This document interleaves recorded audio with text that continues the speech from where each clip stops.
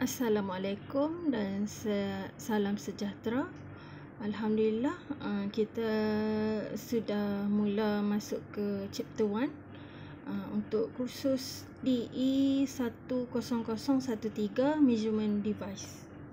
Seterusnya kita tengok course learning outcome setelah uh, student melihat slide ini kita akan dapat pertama CLO1 apply the concept of measurement in electrical and electronic uh, equipment using appropriate theorem.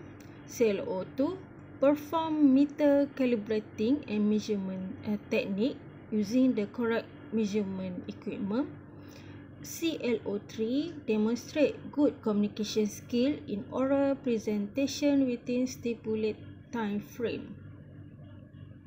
Okay, learning outcome for today's slide. Pertama, remember measuring process. Kedua, remember element in measurement uh, system. Ketiga, remember uh, measurement terminologies. Keempat, remember error in measurement. Dan kelima, understand type of error. Topic 1. Measurement and error. Apa maksud measurement? Jadi kita lihat definition of measurement process. Uh, measurement process is uh, the process of determine the amount, degree or capacity by comparison, direct or indirect with the accepted standard of the system unit being used. Seterusnya, the measurement process. The process of which physical parameter can be converted to meaningful number. In other words, measurement and estimation of physical parameter uh, sama ada dalam quantity by a measurement device instrument. Okey, kita tengok figure pertama, figure 1.0 basic of measurement process.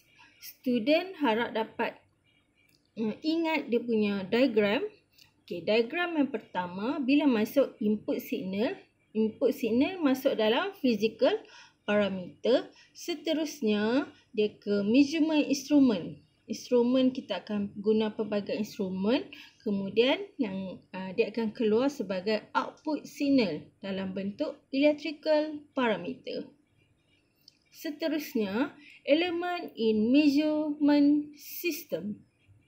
In measurement system, we have three elements which are uh, primary sensing element, variable manipulation element, yang ketiga data presentation element.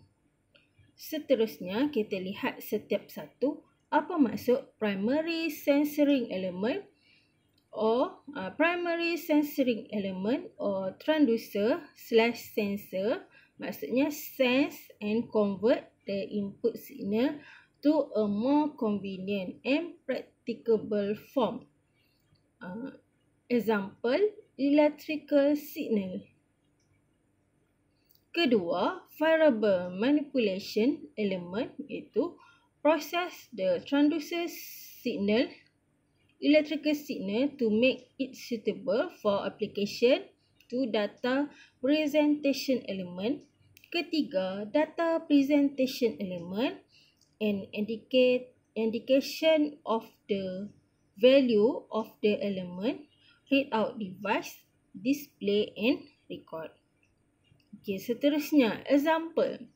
Diberi example, system in analog meter. Okey, daripada sebelah atas paling kiri, current akan masuk ke moving coil iaitu primary sensing. Kemudian akan masuk ke magnet and other component iaitu data uh, conditioning. Kemudian dia akan beri force, tekanan pada me- uh, mechanical link iaitu data transmission dan dia akan keluar dalam bentuk pointer and scale. Itu data presentation observer. Okay. Jadi block diagram of emitter diberikan di bahagian bawah. Ada data representation, ada data uh, transmission, data condition dan primary sensing. Okey, seterusnya measurement terminologies scale. Apa itu scale? A series of mark at regular interval on a instrument that is used for measure. The scale is depending on the range. Kedua, range. The minimum and maximum value of the quantity of for which an instrument is designed to ensure its called its range. Sebagai contoh, emitter range bermula pada 0 milliampere to 5 milliampere. Okey, reading analog scale. Pertama, kita uh, di bahagian bawah ni dia tunjukkan skala dia, scale. Dan kita boleh letak dalam range yang tertentu. Contohnya 0.02 volt, 0.2 volt, 0.4 volt, 4 volt, 20 volt dan 40 volt. Seterusnya, figure 3 menunjukkan show the scale panel of analog multimeter which the range selected is set at DC 2.5 volt. What is the maximum range of the meter? Kedua, the uh, reading value of one scale. Dan ketiga, the voltage reading pointer by the uh, pointer. Jadi, uh, student boleh buat ini dan beri jawapan pada uh, email akan dimaklumkan kemudian. Okey, seterusnya error in measurement. Definition of error. The difference between two uh, true value computing and measure value of quantity. Uh, factor that affect the measure are related to a measuring instrument. The person use the instrument. Error may be expressed either as absolute or as percent uh, relative error. Okay, type of error. Ada five type of error. Pertama, gross error. Kedua, uh, systematic error. Ketiga, random error. Keempat, absolute error. Dan kelima, relative error. Apa itu gross error? False of person using the instrument such as incorrect reading, incorrect recording or data or incorrect use of instrument.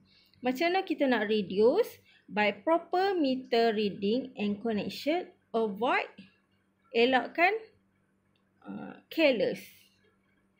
Seterusnya, systematic error due to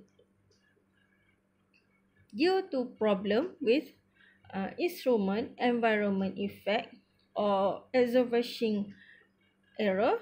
Pertama, instrument error can be due to friction in bearing of the meter, incorrect spring tender, improper calibrate or false instrument.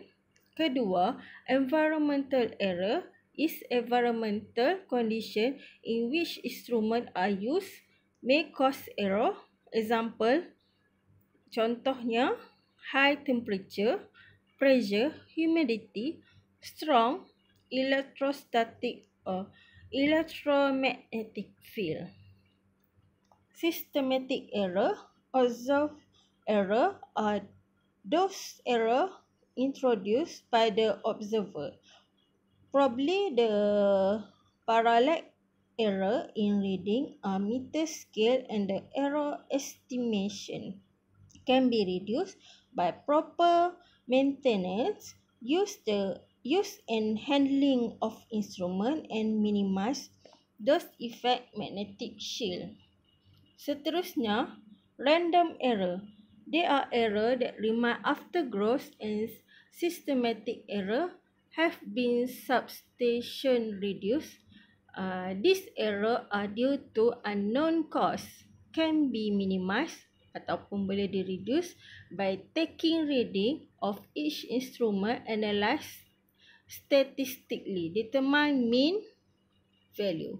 Absolute error seterusnya absolute error ataupun actual error is the difference between expected value and measured error. Diberikan uh,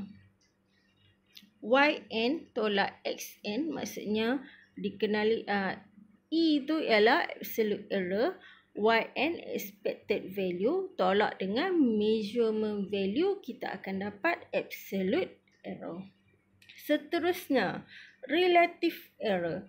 Relative error is how much error you had compared to the real measurement. Relative error sama dengan absolute bahagi dengan expected value. Jadi rumus ini kena diingat. Okey, seterusnya uh, pop quiz chapter 1 part 1. Okey, pertama name five type of error. lima markah. Uh, definition of measurement process. Ketiga, explain the suitable basic measurement device. Lima markah. Okey, uh, jadi uh, para pelajar boleh beri jawapan dalam bentuk email kepada saya. Okey, uh, itu saja buat masa uh, uh, pada masa kini insya-Allah. Hmm, pengajaran akan diteruskan nanti. Assalamualaikum.